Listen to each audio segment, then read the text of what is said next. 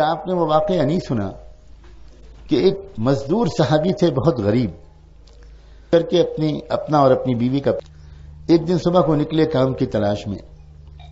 دن بھر کی سنت کے مطابق ان صحابی کی بیوی نے اپنے شوہر کو جو مزدوری کی تلاش کے لیے نکل رہے تھے، اسی طرح رخصت کیا۔ دن بھر انہوں نے کام تلاش کیا، لیکن کوئی کام نہیں ملا۔ کوئی کام نہیں ملا۔ اور وہ کام جب نہیں ملا تو مزدوری بھی نہیں ملی اور شام کو خالی ہاتھ گھر واپس آ گئے۔ بھوک لگی تھی گھر میں آ کر کہا کہ بھئی کچھ کھلاؤ۔ دن بھر کچھ کھایا نہیں، بھوک لگی ہے۔ تو بیوی نے کہا کہ میں تو آپ کو بتا چکی تھی کہ گھر میں تو کچھ بھی نہیں بچا، جو کچھ تھا وہ کل استعمال ہو گیا تھا۔ آج تو میں انتظار بھی تھی کہ آپ واپس آئیں گے، کچھ لے کر آئیں گے۔ میں پکاؤں گی، آپ کو بھی کھلاؤں گی، میں بھی کھاؤں گی۔ لیکن شوہر نے جب یہ سنا، بیوی کی زبان سے تو شوہر اداس ہو گئے۔ اپنے لیے نہیں، اپنی بیوی کے لیے ان کے دل میں خیال آیا ہوگا۔ اللہ، میں تو مرد ہوں، برداشت کر لوں گا۔ یہ اللہ کی بندی۔ اب یہ بھوکی ہے، اب پھر رات میں فاقے کے ساتھ سونا پڑے گا۔ اپنے شوہر کے چہرے پر فکر مندی کے آثار دیکھ کر اس وفادار بیوی نے کہا کہ میرے سرتاج، آپ بالکل پریشان نہ ہو ایک بات پر ذرا غور کریں۔ روزانہ ہم لوگ اپنی مرضی کے مطابق کھا پی کر سوتے ہیں۔ آج کی رات ہمارے اور آپ کے رب نے یہ طے کیا ہے کہ آج کی رات ہم اس کی مرضی کے مطابق گزاریں۔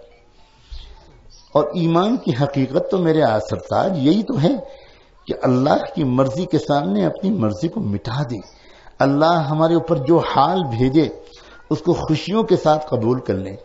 سر جھکا دیں کہ اللہ کی طرف سے یہی فیصلہ ہے، تو مجھ کو منظور ہے۔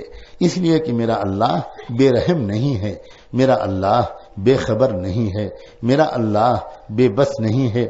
اگر اس نے سب کچھ جاننے کے باوجود، پوری قدرت کے باوجود اور اتنی رحم دلی اور پیار کے باوجود اس نے اگر آج یہ فیصلہ کیا ہے کہ ہم دونوں بھوکے سوئیں گے، تو آج ہم دونوں خوش خوش اللہ کی مرضی کے سامنے سر چکاتے ہیں۔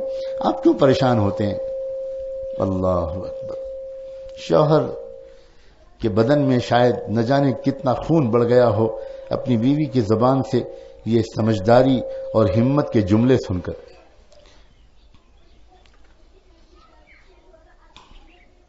جاننا چاہیے عورتوں کو کہ دنیا میں کسی بڑے سے بڑے بزرگ کی نصیحت سے مردوں کو شاید وہ حوصلہ نہیں ملتا جو اپنی بیوی کے ایک سمجھداری کے جملے سے ملتا ہے۔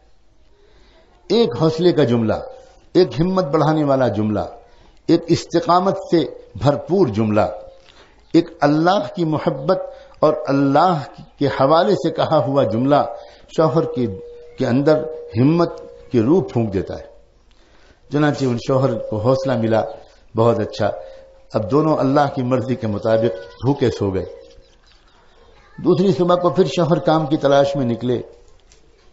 پھر بیوی نے سنت کے مطابق دروازے تک آ کر رخصت کیا، لیکن اللہ کی مرضی کہ دوسرے پورے دن کی کام کی تلاش کے باوجود دوسرے دن بھی ان کو کام نہیں ملا۔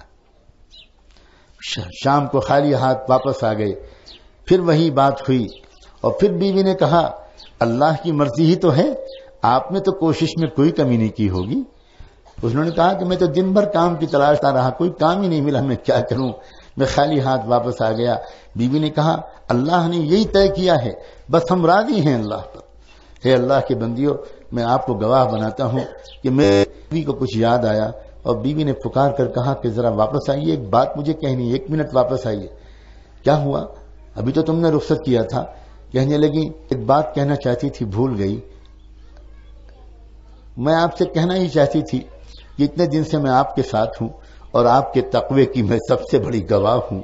میں جانتی ہوں آپ اپنے لیے کوئی غلط کام نہیں کریں گے، لیکن مجھ سے آپ کو جتنی محبت ہے اور آپ میرا جتنا خیال رکھتے ہیں، اس کی وجہ سے مجھ کو اس بات کا تھوڑا سا ڈر لگ رہا ہے کہ کہیں آپ، اگر آج بھی آپ کو کوئی کام نہ ملا تو میری وجہ سے کوئی حرام لقمہ لے کر نہ آ جائیں۔ اللہ کے لیے اگر آج بھی آپ کو کوئی کام نہ ملا تو خالی ہاتھ واپس آ جائیے گا، مگر خدا کے لیے کوئی حرام لقمہ لے کر نہ آئیے گا۔ سلام ہو صلی اللہ کی بندی پر۔ سلام ہو اس کے ایمان پر، اس کی سمجھداری پر، اس کے تقوی پر۔ اس قسم کی عورتیں ہمیشہ خوش رہا کرتی تھیں اور اس قسم کی عورتیں پورے گھر میں خوشیوں کی بارش خوشیوں کی شبنم ہر ایک کے سینے پر ٹپکایا کرتی تھی۔